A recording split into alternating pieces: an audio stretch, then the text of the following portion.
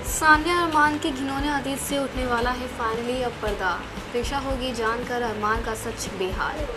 Star plus के serial यह चाहते में जहाँ एक तरफ़ सानिया अरमान नहीं चाहते हैं कि रुद्र प्रीशा एक हो तो वहीं हम आपको बता दें कि इन दोनों के ही रिश्ते को लेकर अब बहुत बड़ा खुलासा होने वाला है। दोनों ही प्रीशा और रुद्र को बर्बाद करने में लगे हुए हैं। सानिया चाहती है कि रुद्र उसके साथ रहे तो वहीं अरमान प्रीशा को पाने के लिए किसी भी हद तक जा सकता है।